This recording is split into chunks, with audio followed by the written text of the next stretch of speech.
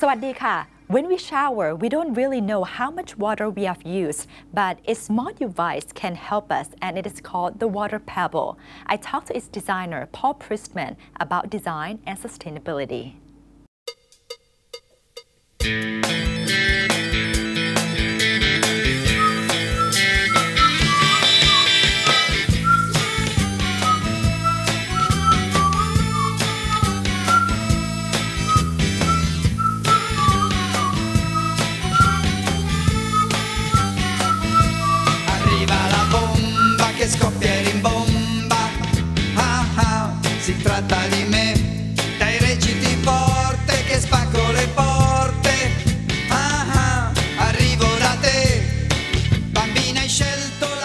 Paul, before working on the Water Pebble, have you always been interested in environmental issues? Yeah, I have. I've always been interested in environmental issues. It's, um, it's a big responsibility, I think, for, for anyone that's working in the design world. I mean, I design products that are made by maybe the many million, so I have to be responsible for that production.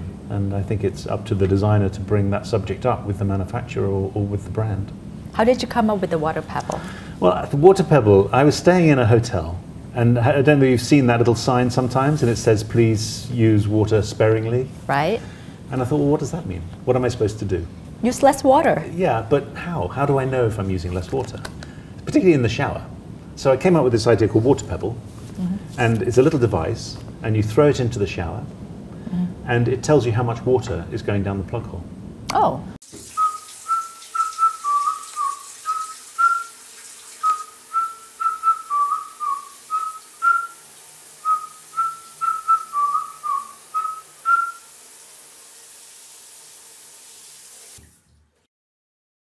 It's quite clever because it actually learns from your shower. So the first time you have a shower, it learns, and then the next time you have a shower, it goes through traffic lights. It goes through green, and then amber, and then red.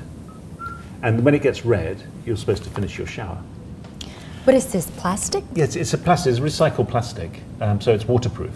So you put this, You throw it into the bottom of the shower. uh huh, and then you just take shower. Take a shower. Normally. And what it does, it gives you a gentle reminder about how much water you're using when you're in the shower.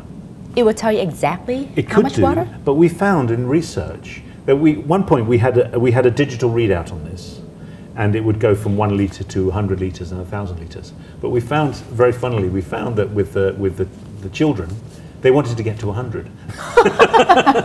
so it's completely the opposite. so what we did, we did it as traffic lights. Everybody understands traffic lights. But also, you know, when you're having a shower, is 100 litres good or is it bad? I don't know. So hmm. all you need to know is roughly an indication of how long you've been in the shower. So does it beep? No, no. When it doesn't- no, no, you you can ignore stop? it if you want, but I've been using one of these for about two years now, and I have it, and it just gives me a reminder how long I've been in the shower. Because some mornings, I think you can have a shower and you don't, you sort of lose track of time. Hmm. But I want to know roughly how long I've been in the shower, so that, that's that's what it does. It all does it automatically. So it can report the exact amount of water. It can, but in, this one it doesn't need to because all it's doing is trying to reduce the amount of, of time you spend in the shower, and then it slowly reduces the amount of time every time you have a shower. Oh. So we encourage you to have shorter showers. Is there an ultimate goal in terms of No, time? how much um, the time idea- you should spend in the shower? No, because some people are quite good. They maybe have a four minute shower or a five minute shower, but some people that have 10 minute shower, we want to try and reduce the amount of shower time they have. So this will help. Oh. And what the research has shown that this actually saves about seven litres of water for each shower, just through the r- reminding people of, of the water. Now, if you multiply that with a family over, over a year, it's a lot of water. But it also, it's not just water, it's hot water. So the energy required in heating up that water for a shower and then getting rid of the water afterwards, it's a, you know, it's a big carbon footprint. So there are lots of reasons for looking after water. And So- I think it's going to be a big problem in the world, water shortage. So this can be used in both hot and cold shower. Yes, yeah, yeah, yeah. It's the it's the water and the energy consumption.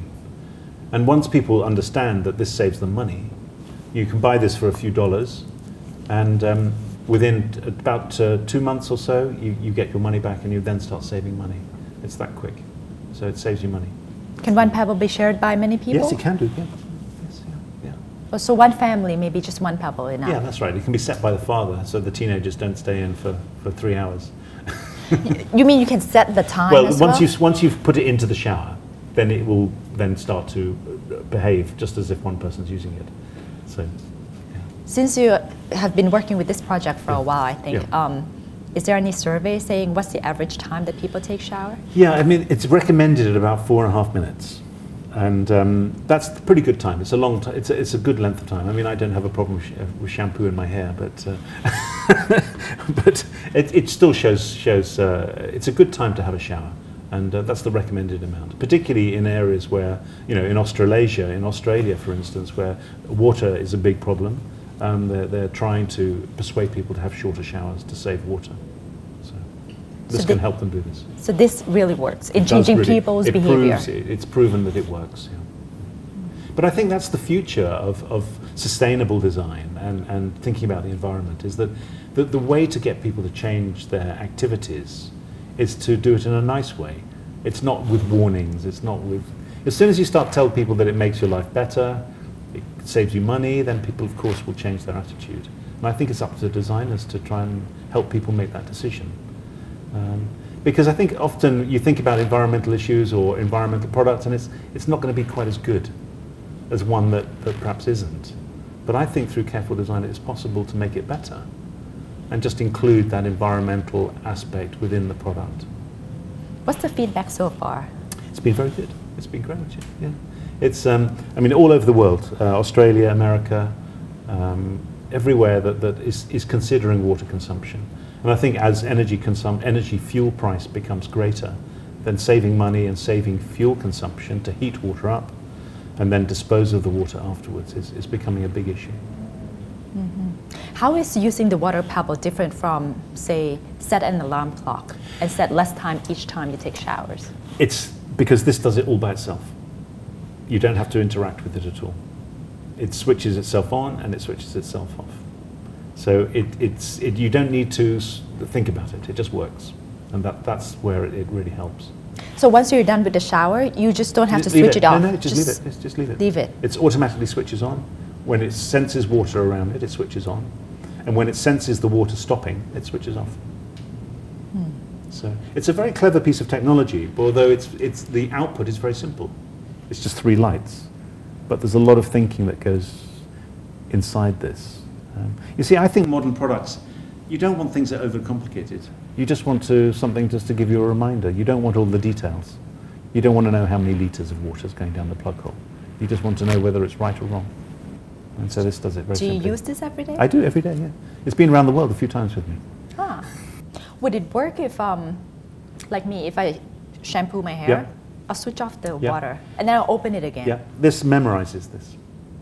So when you switch it off, it has it memorizes where you are, and then it starts again.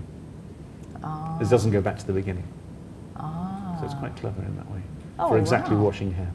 Yeah. What technology do you use in there? Well, it's it's um, it's a it's technology that, that was developed for this product. I, I, I, got some electronic engineers to work with me on the project, and um, they developed it, and it's all protected and and uh, water.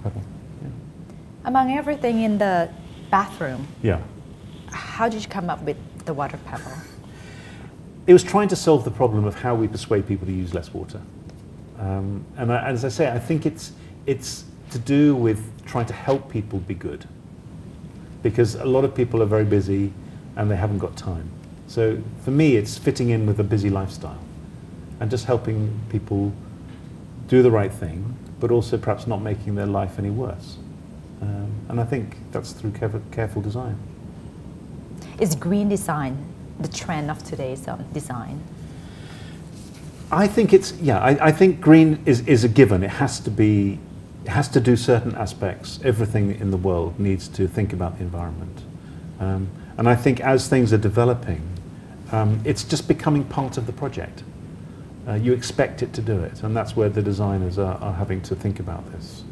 Um, you know, when you, of course, there is legislation that with the packaging, with uh, car emissions. These are, the, but it's for the designers and engineers to keep on pushing ahead to make these things even greener, and I think that's the goal.